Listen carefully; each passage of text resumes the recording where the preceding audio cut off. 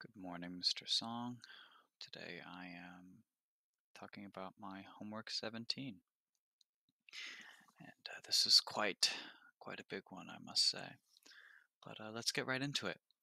So uh, instead of calling it MAT, I just called my public class homework 17, the entire thing. And here is the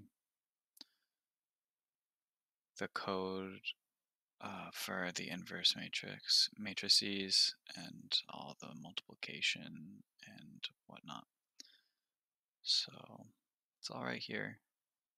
Let's get up to the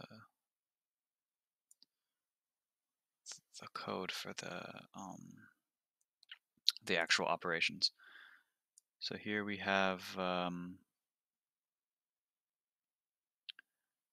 the the first inverse multiplication right here uh, on the the guide it would be known as inverse uh, a times inverse a.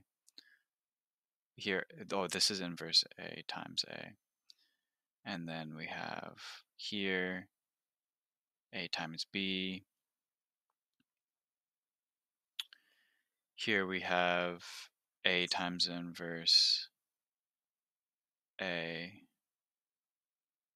And then here we have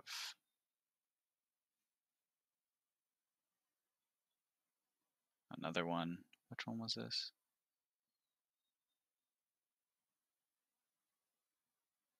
One, two, three, one, two, three, four. Oh, I know what I know what this top one here. This one is the uh, four by three matrix multiplication.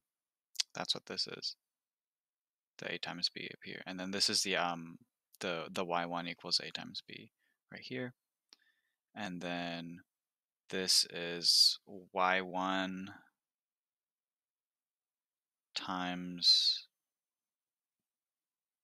inverse a or inverse a times y1 and then this right here is y2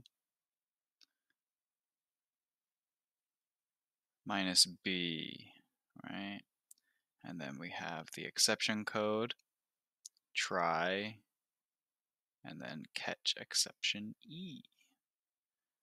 All right, that's all that.